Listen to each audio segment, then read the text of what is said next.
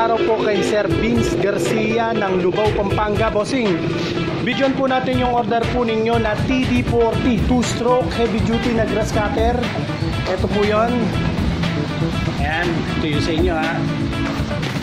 TD40. Ayan po. Kahit maghapon pong gamitin yan, walang problema.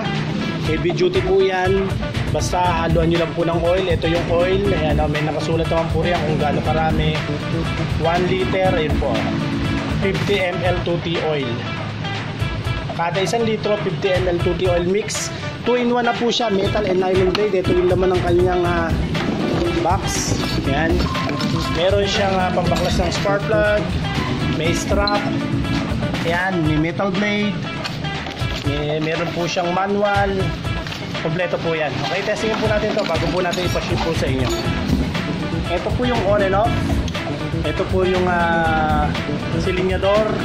Ito po yung choke. Likod. Pag umandar na, pwede nyo na ibaba yung choke. Try ko pong start. Hawak.